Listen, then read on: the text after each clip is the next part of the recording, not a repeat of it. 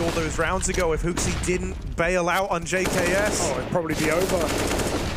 NiKo, NiKo what a double. what he can. Tech No going to open up, and now he's got the AWP as well. He loses a teammate. Hunter is dead. NiKo's going to do this alone. on. He's on for the ace right now. One man doing it all. We've had quiet games from NiKo so far, but he might be here to put G2 on the map. That's the NiKo round we were waiting for. That's the player we know and love.